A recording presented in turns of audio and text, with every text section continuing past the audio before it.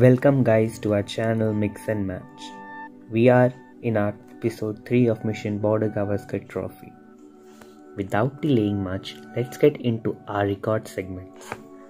Do you know guys, Michael Clarke and Virender Sehwag are two players who have got centuries as well as fifer in Border Gavaskar Trophy.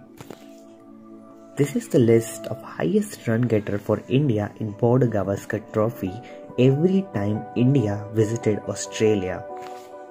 MSD is the only captain to whitewash Australia in a test series.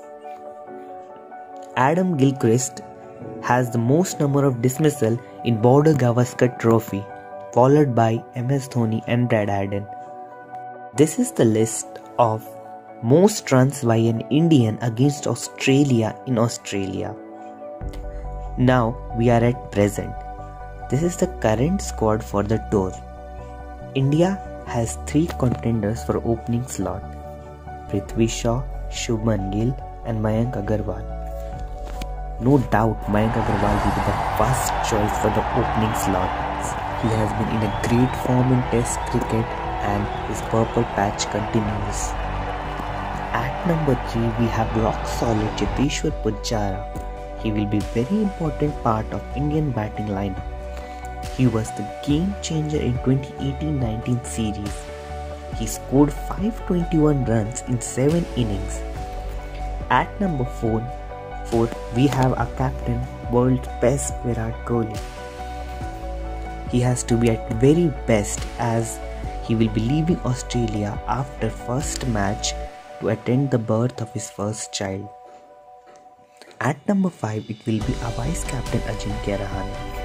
He's been patchy with his bat but scored a hundred in the practice match, which surely will boost his confidence. The most burning question is who will keep wickets, Riddhi or Pant? Guys, do comment your choice in a comment box. Next, maybe next will be Hanuma Vihari, who has been good with bat and can bowl as well. Now, it's time for the bowlers. India is visiting with five seamers Jasprit Bumrah, Mohammad Shami, Umesh Yadav, Navdeep Saini and Mohammad Siraj. Let's hope for the best as the day-night test match will begin from tomorrow. But before that guys, it's time for our heroic section today and the hero for day is Harbhajan Singh, also known as Turbinator, gave us many great memories with the ball against Aussies but hat-trick against Australia in Eden Garden was the best moment. Let's relive that moment. Signing off you guys and enjoy that video. Thank you.